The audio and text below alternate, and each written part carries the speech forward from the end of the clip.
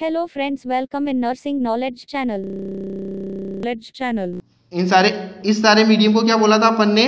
जो nuclear membrane और cell membrane के बीच का जो मीडियम था उसको क्या बोला था अपन ने? साइटोप्लाज्मा न्यूक्लियर मेम्ब्रेन और न्यूक्लियस के बीच का फ्लूड मीडियम को क्या बोलेंगे अपन? न्यूक्लियोप्लाज्मा कंफ्यूज तो नहीं हो रहे हो? साइटोप्लाज्मा समझ में आ गया? नेक्स्ट न्यूक्लियोप्लाज्मा समझ में आ गया? साइटोप्लाज्मा न्यूक्लियोप्लाज्मा के बाद नेक्स्ट जो वर्ड आता है प्रोटोप्लाज्मा। प्रोटोप्लाज्मा में समझने का कुछ खास है नहीं। प्रोटोप्लाज्मा में एक चीज़ याद रखने की है कि प्रोटोप्लाज्मा होता है, जो साइटोप्लाज्मा है और न्यूक्लियोप्लाज्मा है, दोनों को जोड़ लें तो वो होता है protoplasma. Cytoplasma plus nucleoplasma is known as protoplasma. Cytoplasma plus nucleoplasma is known as protoplasma. Cytoplasma और न्यूक्लियोप्लाज्मा को दोनों को जोड़ ले तो क्या हो जाता है? प्रोटोप्लाज्मा हो जाता है। प्रोटोप्लाज्मा में एक क्वेश्चन और बनता है। कि अगर क्वेश्चन ऐसे आ जाए, क्या क्वेश्चन आ जाए? Which of the following a physical basis of human body which of the following is a physical basis of human body क्या आ जाए? A cell B cytoplasma C nucleoplasma और डी प्रोटोप्लाज्मा तो इस क्वेश्चन का आंसर आपको क्या करना है? Physical basis of human body में आएगा प्रोटोप्लाज्मा क्या आएगा? प्रोटोप्लाज्मा क्योंकि सबसे छोटी स्ट्रक्चर क्या होती है? सेल होती है, वो वो बेसिक स्ट्रक्चर होती है। उस बेसिक स्ट्रक्चर का अंदर का सारा मटेरियल क्या कहलाता है? प्रोटोप्लाज्मा कहलाता है। तो इस क्वेश्चन का आंसर आपको क्या करना है? प्रोटोप्लाज्मा क्या करना है इस क्वेश्चन का answer protoplasma it is a physical basis of human body क्या कहलाता है? Physical basis of human body याद रखना है ये वर्ड भी अपने को। साइटोप्लाज्मा समझ में आ गया। न्यूक्लियोप्लाज्मा हो गया। प्रोटोप्लाज्मा हो गया। Next cytosol. साइटोसोल वर्ड का मीनिंग क्या होता है? जो आपने पढ़ा होगा, साइटोप्लाज्मा। साइटोप्लाज्मा क्या होता है? सेल मेम्ब्रेन और न्यूक्लियर मेम्ब्रेन का जो सारा कंटेंट है, ये सेल मेम्ब्रेन हो गई, ये न्यूक्लियर मेम्ब्रेन हो गई न्यूक्लियस हो गया, इसके अंदर जो सारा कंटेंट है, वो कंटेंट और छोटे छोटे सेलुलर ऑर्गेनेल्स इन सबको मिला के क्या बोलते हैं अपन? साइटोप्लाज्मा। तो ये साइटोसोल क्या होता है? ये साइटोसोल होता है साइटोप्लाज्मा में से, साइटो प्लाज्मा में से अगर आपने सेलुलर ऑर्गेनल्स को माइनस कर दिया, क्या कर दिया? सेलुलर ऑर्गेनल्स को माइनस कर दिया तो जो लिक्विड पोर्शन बचेगा, जो क्या बचेगा? लिक्विड पोर्शन, वो क्या कहलाएगा? साइटोसोल। वो क्या कहलाएगा? साइटोसोल। साइटोप्लाज्मा समझ में आ गया? नाइक्लोप्लाज्मा समझ में आ गया? प्रोटोप्लाज्मा। साइटोप्लाज्मा क्या होता है? It is a fluid medium between nuclear membrane and cell membrane ये साइटोप्लाज्मा हो गया।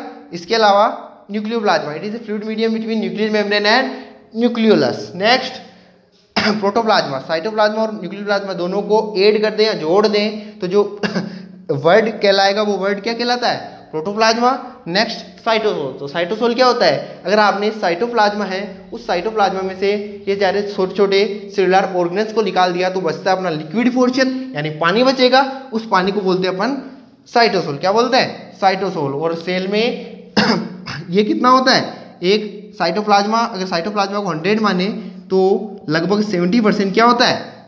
साइटोसोल होता है, यानी सेल के अंदर सेवेंटी परसेंट तो क्या होता है? पानी ही होता है। तो ये सारे वर्ड्स इंपॉर्टेंट हैं।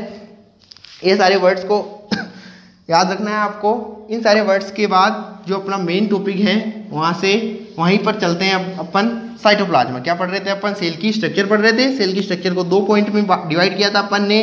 सेल मेम्ब्रेन और साइटोप्लाज्मा। और साइटोप्लाज्मा में क्या था? साइटोप्लाज्मा में क्या था? सॉरी सेल मेम्ब्रेन में क्या था? सेल मेम्ब्रेन की सारा कुछ पढ़ चुके थे अपन, बात करते हैं अपन साइटोप्लाज्मा की। तो साइटोप्लाज्मा की डेफिनेशन पता चल गया आपको? साइटोप्लाज्मा की डेफिनेशन के बाद साइटोप्लाज्मा में दो चीज़ बचती है। क्या? साइटोप्लाज्मा में क्या था? फ्लूड मीडियम था और क्या था? सेलुलर ऑर्गेनल तो फ्लूइड मीडियम फ्लूइड मीडियम क्या होता है? फ्लूइड मीडियम क्या कहलाता है? साइटोसोल क्या कहलाता है? साइटोसोल और साइटोसोल कितना होता है? सेवेंटी परसेंट तो फ्लूइड मीडियम को पढ़ने की कोई ज़रूरत नहीं है। सेवेंटी परसेंट होता है डेढ़ सोल नेक्स्ट इंपॉर्टेंट जो आता है पढ़ने का वो है सेल्यूलार ऑर्गेनेल्स क्या आता है? सेलुलर ऑर्गेनेल्स वो अपने को डिस्कस करना है। क्या करना है? डिस्कस सेलुलर ऑर्गेनेल्स को। तो स्टार्ट करें अपन सेलुलर ऑर्गेनेल्स टॉपिक स्टार्ट करते हैं अपन सेलुलर ऑर्गेनेल्स सेलुलर ऑर्गेनेल्स पता चल गया? सेलुलर सेलुलर यानी सेल के अंदर। ऑर्गेनेल्स ऑर्गन वर्ड का मीनिंग पता है तुम्हें? ऑर्गन वर्ड का मीनिंग होता है अलग अलग सिस्टम जो ऑर्गन से मिलके बने होते हैं, उन ऑर्गन अलग अलग सिस्टम जिससे मिलके बने होते हैं, उसको ऑर्गन बोलते हैं। लेकिन जो सेल्स हैं, उस सेल के अंदर भी छोटे छोटे कंटेंट होते हैं। वो इतने छोटे होते हैं कि उनको ऑर्गन तो अपन नहीं बोल सकते। तो ऑर्गन से जो छोटा वर्ड यूज़ किया जाता है, उनके लिए ऑर्गेनेल्स क्या यूज़ किया जाता है? उनके लिए ऑर्गेनेल्स देखिए अपन अब लंबी क्लास रहेगी अपनी। जैसे आपने पढ़ाई के उद्देश्य से क्लास ले रहे हैं अपन, अपना उद्देश्य कुछ भी ज़्यादा फास्ट करने की ज़रूरत वो नहीं है, क्योंकि फास्ट करके जाना कहाँ है अपने को? अपन ने पहले ही डिस्कस किया था कि अपना उद्देश्य बेसिक ऑफलाइन कोचिंग की तरह रहेगा बेसिक से स्टार्ट करेंगे क्लास शेड्यूल वाइज होगी तो बेसिक से स्टार्ट करने के, आपको ऐसे नहीं है कि हवा में आप चालू कर रहे हो, थोड़ी देर देखा, छोड़ दिया, ऐसा नहीं करना आपको। अपनी क्लास की शेड्यूल वाइज पढ़ना है आपको फिक्स टाइम पे आप टाइम फिक्स कर लो कि आपको आप अपनी क्लास का कब पढ़ना है। तो उस टाइम पे आप सब कुछ फ्री करके क्लास यूट्यूब चालू करके अपना चैनल से स्टार्ट कर दो स्टडी और लगातार पढ़ना है आपको। दो घंटे उसमें, जैसे मैं भी लगातार पढ़ा रहा हूँ दो घंटे तो आपको क्लास में भी लगातार दो घंटे पढ़ना है। दो घंटे ज़्यादा नहीं है स्टार्टिंग में आपको थोड़ा ज़्यादा लग सकता है। अगर आप पहले से तैयारी कर रहे हैं तो वैसे ही नहीं लगेगा, लेकिन अगर आपने अभी से तैयारी स्टार्ट करी है तो स्टार्टिंग में दो घंटे थोड़े ज़्यादा लग सकते हैं। एक घंटा, डेढ़ घंटे क्लास ज़्यादा लग सकती है, लेकिन आपको घबराना नहीं है। एक दिन, दो दिन, पाँच दिन, सात दिन। आपको एक चीज़ पता होगी, सब, सबको कि कोई भी चीज़ को स्टार्टिंग में आदत बनाना मुश्किल होता है, लेकिन उस चीज़ को आप लगातार ट्वेंटी वन डेज़ इक्कीस दिन तक करते हो तो वो आपकी ऑटोमेटिक आदत बन जाती है। तो आपको स्टार्टिंग में थोड़ी समस्या हो सकती है कि इतना लंबा एक साथ पढ़ लिया। आपने यूट्यूब पे जैसे देख रहे हो, कुछ कॉमेडी वीडियो दो मिनट देख ली, फिर पाँच मिनट बाद में देख ली, ऐसा नहीं करना है। अपना स्टडी मटेरियल है, उसको आपको क्लास की तरह ट्रीट करना है। क्लास की तरह ऑफलाइन क्लास में जैसे बिल्कुल सब कुछ छोड़ के क्लास में ध्यान देते हो, वैसे ही आपको इधर ध्यान देना है। तो जो सेल में डिस्कस कर रहे थे अपन, सेल मेम्ब्रेन हो गई थी साइटोप्लाज्मा क्या होता है वो पता चल गया था स्ट्रक्चर में। उसके बाद साइटोप्लाज्मा में दो चीज़ होती है साइटोसोल और चिल्लार ऑर्गेनेल्स क्या होता है। तो सेलुलर ऑर्गेनेल्स अपन ने डिस्कस कर चुके थे। Cellular organelle sorry cell membrane discuss कर चुके थे साइटोसोल डिस्कस साइटोप्लाज्मा डिस्कस कर चुके थे साइटोसोल क्या होता है वो डिस्कस कर चुके थे। नेक्स्ट जो डिस्कस करना है अपने को, वो डिस्कस क्या करना है? सेलुलर ऑर्गेनेल्स क्या डिस्कस करना है? Cellular organelles cellular organelles. अलग अलग सेलुलर ऑर्गेनेल्स के नाम पहले देख चुके हैं अपन। अलग अलग सेलुलर ऑर्गेनेल्स के नाम। उन सेलुलर ऑर्गेनेल्स में फ़र्स्ट ऑफ़ ऑल अपन डिस्कस करने वाले हैं। वो डिस्कस करने वाले हैं क्या? फ़र्स्ट ऑफ़ ऑल डिस्कस करेंगे अपन एंडोप्लाज्मिक रेटिकुलम। क्या डिस्कस करने वाले हैं? Endoplasmic reticulum. पता है किसी को? Endoplasmic reticulum. क्या होता है एंडोप्लाज्मिक रेटिकुलम? एंडोप्लाज्मिक जो रेटिकुलम जो स्ट्रक्चर होती है, वो एंडोप्लाज्मिक रेटिकुलम जो सेल्स में होते हैं, वो दो टाइप के एंडोप्लाज्मिक रेटिकुलम देखे गए हैं। दो टाइप के कौन कौन से एंडोप्लाज्मिक रेटिकुलम देखे गए हैं? कुछ एंडोप्लाज्मिक रेटिकुलम की सरफेस पे कुछ कंटेंट होता है, उस कंटेंट के कारण उनकी जो सरफेस है, वो रफ होती है। क्या होती है? रफ होती है, उसको बोलते हैं अपन रफ एंडोप्लाज्मिक रेटिकुलम और कुछ एंडोप्लाज्मिक रेटिकुलम की सरफेस क्या होती है? स्मूथ होती है उसको अपन बोलते हैं स्मूथ एंडोप्लाज्मिक रेटिकुलम जिसकी सरफेस रफ होती है। उस सरफेस का रफ होने का कारण यह है कि उस एंडोप्लाज्मिक रेटिकुलम में एक कंटेंट होता है, उस कंटेंट को बोलते हैं अपन राइबोसोम क्या बोलते हैं? राइबोसोम तो स्मूथ एंडोप्लाज्मिक रेटिकुलम दो टाइप के होते हैं रफ एंडोप्लाज्मिक रेटिकुलम और स्मूथ एंडोप्लाज्मिक रेटिकुलम जो रफ एंडोप्लाज्मिक रेटिकुलम होता है उस रफ एंडोप्लाज्मिक रेटिकुलम में क्या होते हैं? राइबोसोम्स होते हैं राइबोसोमल ग्रेन्यूल्स होते हैं। उस ग्रेन्यूल्स के कारण ही उसकी सरफेस क्या हो जाती है? रफ हो जाती है। और जबकि स्मूथ एंडोप्लाज्मिक रेटिकुलम में ऐसा कुछ नहीं होता है, इस कारण उसकी सरफेस स्मूथ ही रहती है। उसकी सरफेस इस कारण स्मूथ ही रहती है। तो रफ एंडोप्लाज्मिक रेटिकुलम और स्मूथ एंडोप्लाज्मिक रेटिकुलम ये दो टाइप हो गए। इसमें बात करते हैं इंपॉर्टेंट क्वेश्चन आता है रफ एंडोप्लाज्मिक रेटिकुलम में। रफ एंडोप्लाज्मिक रेटिकुलम का जो फ़ंक्शंस होते हैं, वो रफ डेफिनेशन समझ में आ गई ना एंडोप्लाज्मिक रेटिकुलम की डेफिनेशन क्या होती है? रेफ एंडोप्लाज्मिक रेटिकुलम की डेफिनेशन अगर आपको समझ में नहीं आई तो एक बार वापस से रिपीट कर देते हैं। And rough endoplasmic reticulum contain ribosomal granules in their surface जिसकी सरफेस पर राइबोसोमल ग्रेन्यूल्स होंगे, वो क्या कहलाएगा? रफ एंडोप्लाज्मिक रेटिकुलम और रफ एंडोप्लाज्मिक रेटिकुलम के जो फ़ंक्शंस हैं, वो इंपॉर्टेंट फ़ंक्शंस है, वो होता है प्रोटीन सिंथेसिस क्या होता है?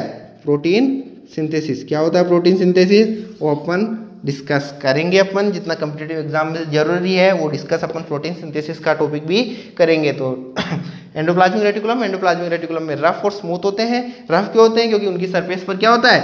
राइबोसोम्स होता है स्मूथ स्मूथ एंडोप्लाज्मिक रेटिकुलम वो होते हैं जिसमें एंडोप्ला राइबोसोमल ग्रेन्यूल्स एब्सेंट होते हैं। और बात करें रफ एंडोप्लाज्मिक रेटिकुलम के फ़ंक्शन की तो रफ एंडोप्लाज्मिक रेटिकुलम का फ़ंक्शन जो इंपॉर्टेंट फ़ंक्शन होता है, वो क्या होता है? Protein synthesis. याद रखना, रफ एंडोप्लाज्मिक रेटिकुलम किससे रिलेशन है? राइबोसोम से। और राइबोसोम का और रफ एंडोप्लाज्मिक रेटिकुलम का फ़ंक्शन क्या है?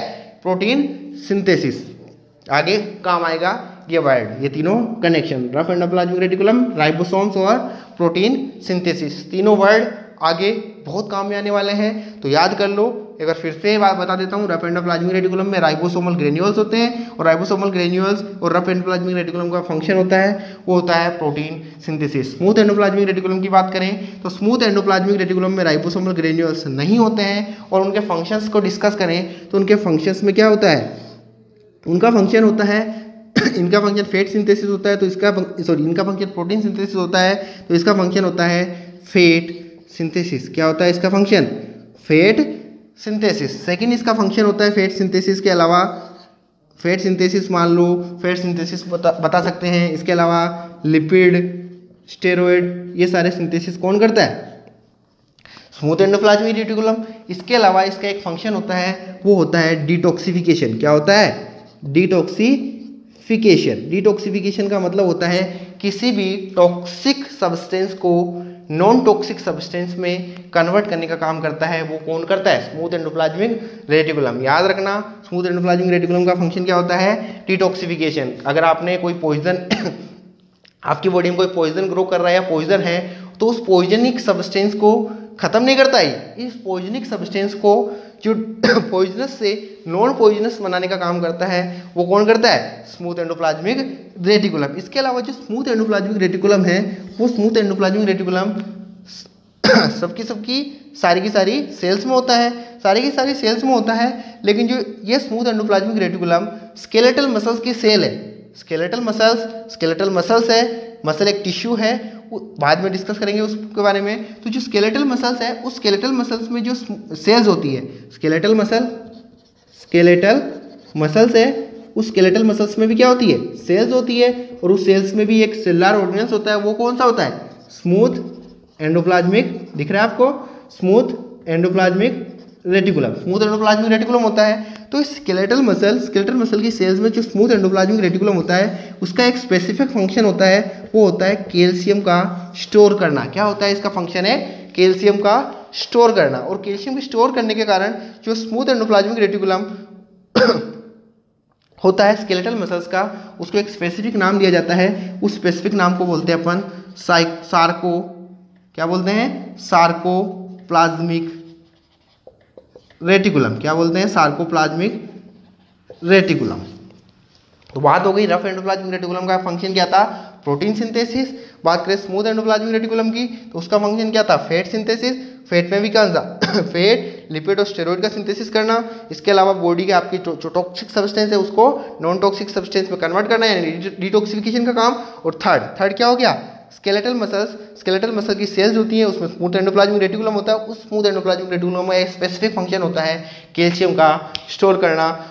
इस कारण जो smooth endoplasmic reticulum of skeletal muscle है, उसको एक स्पेसिफिक नाम दिया जाता है सार्कोप्लाज्मिक रेटिकुलम ये बात हो गई अपने फ़र्स्ट सेलुलर ऑर्गेनल्स के बारे में, यानी कि एंडोप्लाज्मिक रेटिकुलम के बारे में। सेकंड डिस्कस करते हैं अब अपन सेलुलर ऑर्गेनल्स में एंडोप्लाज्मिक रेटिकुलम के बाद। सेकंड जो नेक्स्ट आता है सेलुलर ऑर्गेनल्स वो सेकंड सेलुलर ऑर्गेनल्स होता है।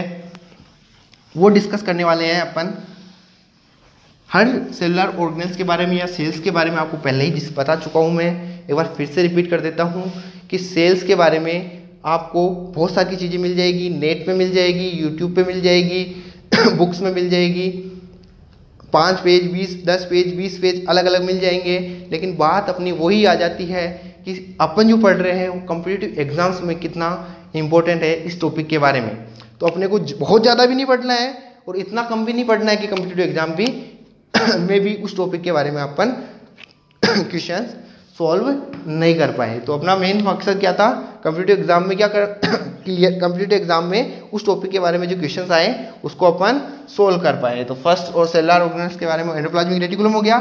सेकेंड जो सेलुलर ऑर्गेनल्स होता है वो सेकंड सेलुलर ऑर्गेनल्स के बारे में डिस्कस करने वाले वो है अपना राइबोसोम क्या है? राइबोसोम कौन सा डिस्कस करने वाले हैं अपन? राइबोसोम दिख रहा है?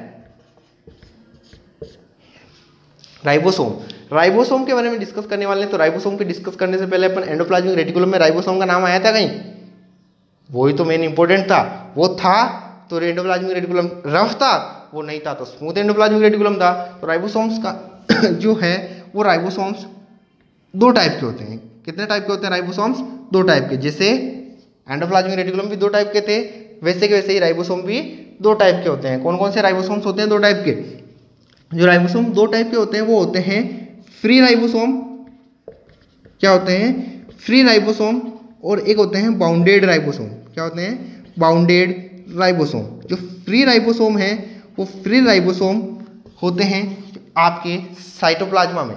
जो साइटोप्लाज्मा है, उस साइटोप्लाज्मा के अंदर जो साइटोसोल में अलग अलग बिखरे हुए जो राइबोसोम्स होते हैं, वो फ्री राइबोसोम कहलाते हैं और नेक्स्ट है, जो राइबोसोम है, वो बाउंडेड राइबोसोम है। बाउंडेड राइबोसोम कुछ सोचो अपने दिमाग में, क्या हो सकता है ये बाउंडेड राइबोसोम लगा रहे हो दिमाग? चलो, आप सबको समझ में आ भी गया होगा, नहीं भी आया तो बाउंडेड राइबोसोम के बारे में बता देता हूँ। बाउंडेड राइबोसोम यानी जो राइबोसोम एंडोप्लाज्मिक रेटिकुलम के साथ रहता है या उसके सरफेस पर रहता है रफ एंडोप्लाज्मिक रेटिकुलम उसको क्या बोलते हैं बाउंडेड राइबोसोम्स ये क्या होता है? ये होता है साइटोप्लाज्मा में फ्रीली साइटोप्लाज्मा में फ्रीली होता है, जबकि बाउंडेड राइबोसोम ये कहाँ रहता है? बाउंडेड राइबोसोम रहता है, ये रहता है आपके रफ एंडोप्लाज्मिक रेटिकुलम की। सरफेस पर रहता है। कहाँ रहता है? रफ एंडोप्लाज्मिक रेटिकुलम की सरफेस पर रहता है। तो दो टाइप का होता है, दो टाइप का ये होता है। इसके बाद बात करें इसकी स्ट्रक्चर की। तो जो राइबोसोम है, उस राइबोसोम की स्ट्रक्चर दो चीज़ों से मिलकर बनी होती है। वो दो चीज़ें क्या क्या है? वो भी आपको याद रखनी है। आगे अपने काम आएगी। तो दो चीज़ों से मिलकर बनी होती है। कौन कौन सी दो चीज़? एक होता है आरएनए और एक होता है प्रोटीन, आरएनए और प्रोटीन, दोनों चीज़ों से मिलकर बनी होती है राइबोसोम की स्ट्रक्चर। राइबोसोम की स्ट्रक्चर किससे मिलकर बनी होती है? आरएनए और प्रोटीन। किस किस से आरएनए और प्रोटीन। इन दोनों चीज़ों से मिलकर बनी होती है सेल की स्ट्रक्चर। याद रखना, राइबोसोम का रिलेशन किससे? आरएनए से। स्ट्रक्चर हो गई, टाइप्स हो गए। अब बात करें इसके फ़ंक्शन की। तो फ़ंक्शन तुम पहले ही बस पढ़ चुके हो, याद करो। हर चीज़ एक दूसरे से लिंक है। हर चीज़ एक दूसरे से लिंक है। तो फ़ंक्शन बताओ फ़ंक्शन क्या होता है? राइबोसोम राइबोसोम राइबोसोम का फ़ंक्शन क्या होगा? राइबोसोम कहाँ पढ़ा था पहले? रफ एंडोप्लाज्मिक रेटिकुलम में। रफ एंडोप्लाज्मिक रेटिकुलम का फ़ंक्शन क्या था? प्रोटीन सिंथेसिस तो इसी का इसका फ़ंक्शन भी क्या हो जाएगा?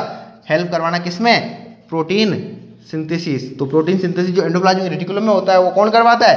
राइबोसोम करवाता है। कौन करवाता है? राइबोसोम प्रोटीन सिंथेसिस का काम। किसका काम? प्रोटीन सिंथेसिस का काम। कौन करवाता है? राइबोसोम करवाता है। प्रोटीन सिंथेसिस का काम राइबोसोम करवाता है। इस कारण राइबोसोम को बोलते हैं अपन प्रोटीन फैक्ट्री। क्या बोलते हैं? Protein factory. राइबोसोम क्या करवाता है? प्रोटीन का सिंथेसिस। इस कारण राइबोसोम को एक और दूसरा नाम दिया जाता है। कंपेटिव पॉइंट ऑफ़ व्यू से क्वेश्चन आ गया आपका। क्या कहते हैं? कहते हैं राइबोसोम को और। Protein factory. क्या बोलते हैं? Protein factory. ये हो गया अपना राइबोसोम। क्या हो गया? राइबोसोम। आगे बढ़े अपन। एंडोप्लाज्मिक रेटिकुलम हो गया। राइबोसोम हो गया। एंडोप्लाज्मिक रेटिकुलम और राइबोसोम के बाद नेक्स्ट अपन देखते हैं जो सेलुलर ऑर्गेनेल्स हैं, वो नेक्स्ट सेलुलर ऑर्गेनेल्स वो डिस्कस करने वाले हैं अब अपन। वो है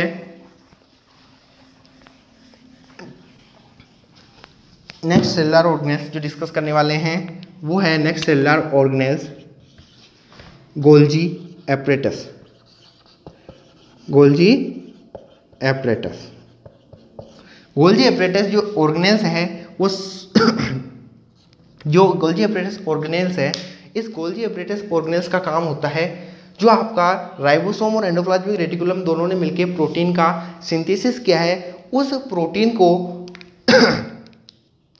पेक की पैकेजिंग करना, उस प्रोटीन की प्रोसेसिंग करना पैकेजिंग करना, और उसको अलग अलग सेल्स के अलग अलग ऑर्गेनेल या अलग अलग पार्ट में जहाँ पे नीड है, वहाँ पे पहुँचाने का काम होता है किसका? कोल्जी अपरेटस का। समझ में आया? नहीं आया, वापस समझाता हूँ मैं। बात करते हैं अपन कुछ चीज़ की तो कोई कंपनी है, वो कंपनी कच्चा माल बना देती है। कोई कंपनी कच्चा माल बना देती है, यानी माल बन गया प्रोडक्ट बन गया। प्रोडक्ट था अपना प्रोटीन वो प्रोटीन बन गया। लेकिन उस प्रोटीन को बनने के बाद उसको अच्छे से साज सजावट करना, उसकी पैकिंग करना, उसकी पैकिंग करने के बाद उसको अलग अलग जहाँ पे ज़रूरत है वहाँ पे पहुँचाना। वो काम कौन करता है? गोल्जी ऑपरेटर्स करता है। इन दोनों का काम केवल प्रोटीन को बनाना है, लेकिन उस प्रोटीन को प्रोसेस करना प्रोसेस करने का मतलब उसको अच्छे लेवल पे लेके जाना, पैक करना, यानी उस कंटेंट को पैक करना और पैक करने के बाद उसको जहाँ ज़रूरत है वहाँ ट्रांसपोर्ट करना, वो काम किसका होता है? गोल्जी ऑपरेटर्स का। गोल्जी ऑपरेटर्स के का काम हो गए? प्रोसेसिंग क्या काम हो गए? प्रोसेसिंग पैकेजिंग और ट्रांसपोर्ट ऑफ़ प्रोटीन क्या हो गया? प्रोसेसिंग पैकेजिंग और ट्रांसपोर्ट ऑफ़ प्रोटीन ये तीनों काम कौन करता है? गोल्जी ऑपरेटर्स इस कारण इन तीनों काम ये करता है, इस कारण इसको एक नाम दिया जाता है। इसको नाम क्या दिया जाता है? राइबोसोम को। प्रोटीन। फैक्ट्री लिख देता हूँ, भूल जाओगे तुम। क्या नाम दिया जाता, दिया गया था इसको? Protein factory. वैसे के वैसे ही गोल्जी ऑपरेटर्स के काम को देखते हुए इसको नाम दिया जाता है क्या? इसको नाम दिया जाता है पोस्ट ऑफ़िस क्या नाम दिया जाता है?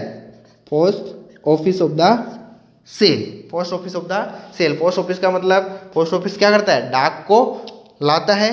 डाक को लाने के बाद अलग अलग जहाँ पे उसको पहुँचाना है, वहाँ पे पहुँचाता है। तो गोल्जी ऑपरेटर्स भी प्रोटीन को क्या करता है? ट्रांसपोर्ट करता है। इस कारण इसको क्या बोलते हैं? Post office of the cell इसको क्या बोला था? प्रोटीन फैक्ट्री ये काम हो गया। इसके अलावा गोल्जी ऑपरेटर्स का एक दूसरा और काम है। दूसरा काम क्या है? वो डिस्कस करते हैं अपन। गोल्जी ऑपरेटर्स का दूसरा ये काम है कि जो आपने एक बात डिस्कस की थी कि जो सेल्स के अंदर कंटेंट का आना और बाहर निकलना।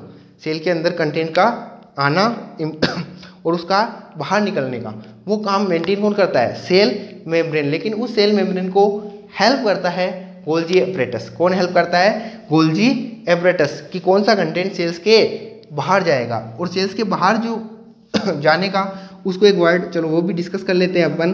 कुछ वर्ड्स हैं। ये वर्ड्स इंपॉर्टेंट है एग्ज़ाम पॉइंट ऑफ़ व्यू से और एग्ज़ाम पॉइंट ऑफ़ व्यू के अलावा भी आपको ये बाद में जब फर्दर ब्रॉड वे में अपन एम को डिस्कस करेंगे, उस टाइम पे ये वर्ड बोलूँगा मैं तो ये वर्ड का मीनिंग आज यहाँ बता रहा हूँ, बाद में आपको समझ में आने में आसानी होगी। क्या होता है? एक्जोसाइटोसिस एक वर्ड होता है एक्जोसाइटोसिस एक वर्ड होता है एंडोसाइटोसिस क्या होता है? एंडोसाइटोसिस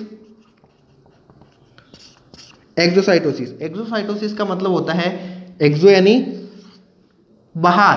साइटोसिस यानी सेल के अंदर। सेल सेल के।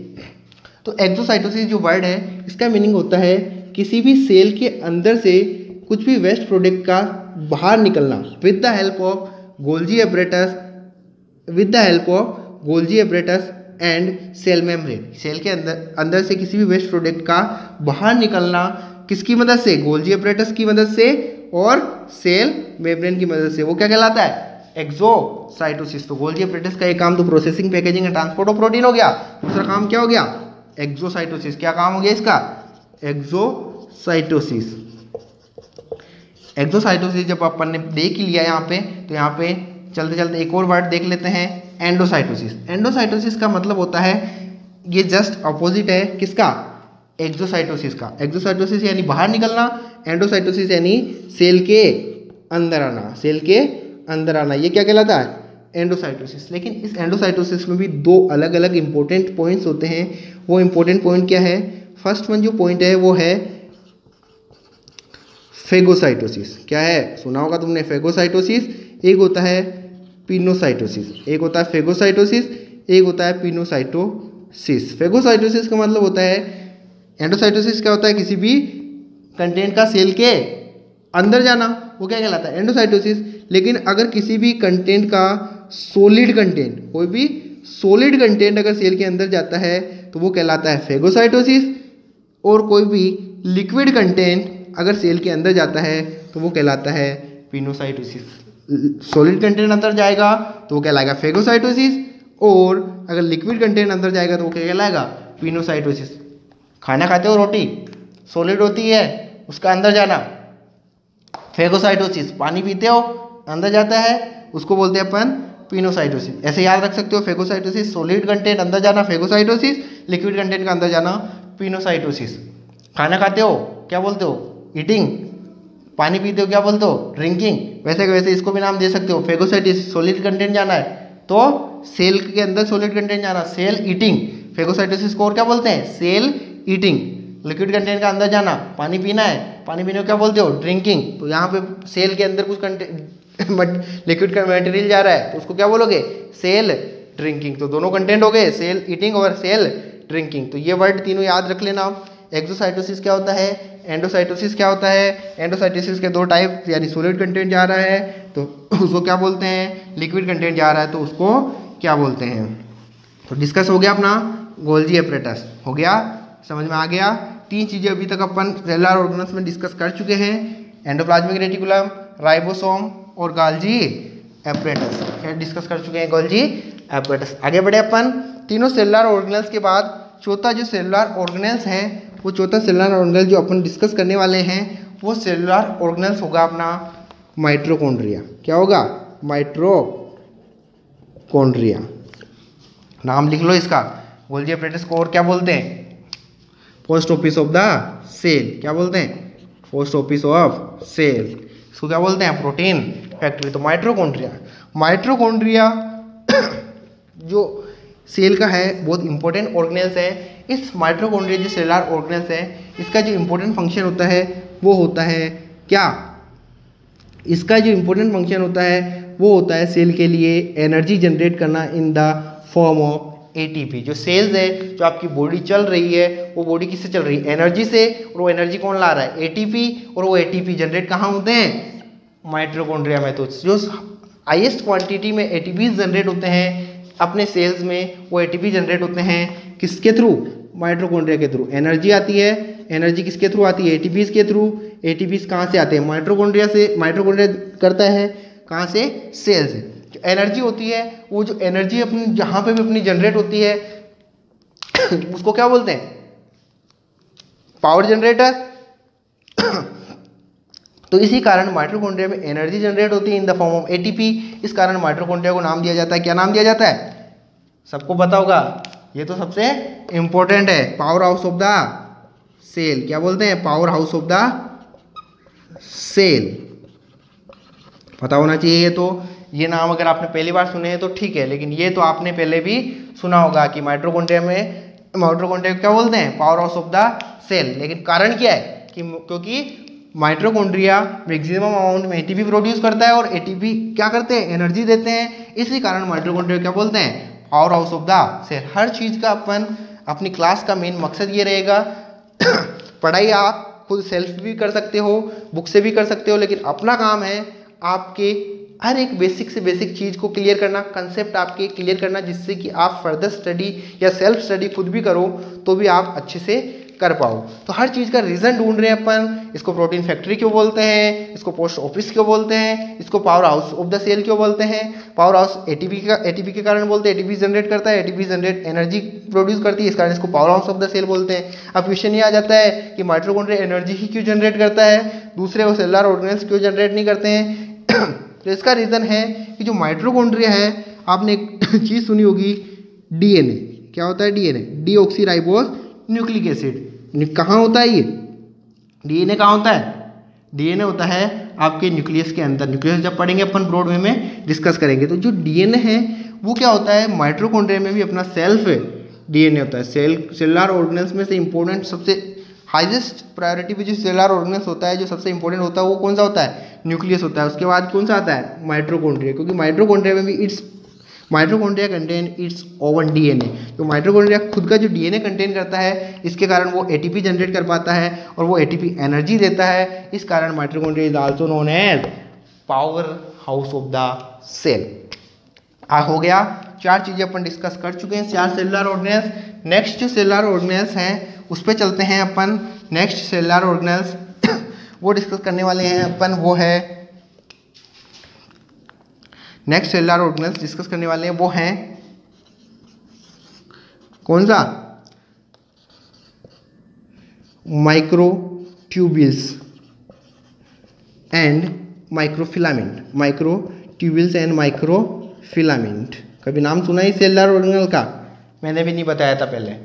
इसलिए नहीं बताया था मैंने कि उन चीज़ों का तो तुमने नाम सुन रखा था। ये वर्ड नया है तो वहाँ पे तुम वही सोचने लग जाते कि ये वर्ड कहाँ से आ गया? माइक्रोट्यूबिल्स माइक्रोफिलामेंट्स इस कारण वहाँ पे अपन ने बताया नहीं, यहीं पे बताया अपन ने माइक्रोट्यूबिल्स एंड माइक्रोफिलामेंट्स एक चीज़ डिस्कस की थी अपन ने, बोला भी था मैंने कि आपको याद रखनी है कि जो सेल मेम्ब्रेन है, वो सेल मेम्ब्रेन का एक फ़ंक्शन था, क्या? सेल का स्ट्रक्चर मेंटेन करने का। सेल की सॉरी स्ट्रक्चर क्या? सेल का शेप मेंटेन करने का काम किसका दिया था अपन ने?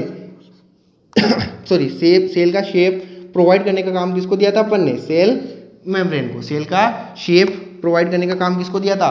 सेल मेम्ब्रेन के फ़ंक्शन में डिस्कस किया था अपन ने कि सेल मेम्ब्रेन का फ़ंक्शन क्या है। सेल को शेप प्रोवाइड करना। वहाँ पे मैंने बार बार शेप प्रोवाइड करने पे ज़ोर दिया था। इसका रीज़न ये है कि सेल को शेप प्रोवाइड तो सेल मेम्ब्रेन करती है, लेकिन जो सेल है, उस सेल को स्ट्रक्चर ये की ये रहेगी, वो मेंटेन करने का काम कौन करता है? माइक्रोट्यूब्यूल्स एंड माइक्रो फिलामेंट्स ये काम क्या करते हैं? सेल की शेप को मेंटेन करने का काम करते हैं। तो maintain the shape of cell cell के शेप को मेंटेन करने का काम कौन करता है? Maintain shape to the cell जो सेल है, उसकी शेप को मेंटेन करने का काम कौन करता है? माइक्रोट्यूब्यूल्स एंड माइक्रोफिलामेंट्स नेक्स्ट बात करेंगे कि सेल और क्या काम होता है माइक्रोट्यूब्यूल्स एंड माइक्रोफिलामेंट्स का? तो और सेकंड जो फ़ंक्शन होता है माइक्रोट्यूब्यूल्स एंड माइक्रोफिलामेंट्स का, वो है सेल्स को मैकेनिकल सपोर्ट प्रोवाइड करना। सेल्स को ये ट्यूबल्स होते हैं फिलामेंट्स होते हैं अलग अलग फिलामेंट्स ये फिलामेंट्स सेल के मैकेनिकल सपोर्ट प्रोवाइड करते हैं। इस कारण इसको जो मैकेनिकल सपोर्ट प्रोवाइड करता है ये ये मैकेनिकल क्या करता है? सपोर्ट प्रोवाइड करता है। ये मैकेनिकल सपोर्ट प्रोवाइड करता है। इस कारण शेल को जो माइक्रोट्यूब्यूल्स एंड माइक्रोफ्लामेंट्स हैं, इनको एक नाम दिया जाता है, वो नाम दिया जाता है साइटोस्केलेटन क्या नाम दिया जाता है? Cytoskeleton. साइटो यानी again cyto, cytology, cytoplasm, cytosol, cyto word कहाँ यूज़ होता है? सेल से रिलेटेड साइटो वर्ड आती है आपके दिमाग में, एक ही चीज़ पर फोकस आना चाहिए। कहाँ पे? Cyto means cell skeleton means skeletal system skeletal system का काम क्या होता है? आपकी बॉडी को सपोर्ट प्रोवाइड करना। मैकेनिकल सपोर्ट प्रोवाइड करना। तो ये भी मैकेनिकल सपोर्ट प्रोवाइड कर रहा है, लेकिन बॉडी को नहीं। कहाँ, किसको प्रोवाइड कर रहा है? सेल को। इस कारण इसको क्या बोलते हैं? साइटो स्केलेटन इसको क्या बोला था? प्रोटीन फैक्ट्री इसको क्या बोला था? गोल्जी अपरेटस को। Post office of the cell इसको क्या बोला था? Power of of the cell तो इसका नाम क्या हो गया? इसका नाम और क्या हो गया? साइटो स्केलेटन क्या नाम हो गया? साइटो स्केलेटन इससे रिलेटेड एक और इम्पोर्टेंट चीज़ है कि जो आपके सेलुलर ऑर्गेनल्स हैं, जो सारे सेलुलर ऑर्गेनल्स हैं इंक्लूडिंग न्यूक्लियर न्यूक्लियस जो सारे सेलुलर ऑर्गेनल्स हैं, उन सारे सेलुलर ऑर्गेनल्स के अंदर भी उनके बाहर ही एक मेम्ब्रेन होती है। सारे के सारे सेलुलर ऑर्गेनल्स हैं छोटे छोटे भले ही होते हैं, लेकिन उन छोटे छोटे सेलुलर ऑर्गेनल्स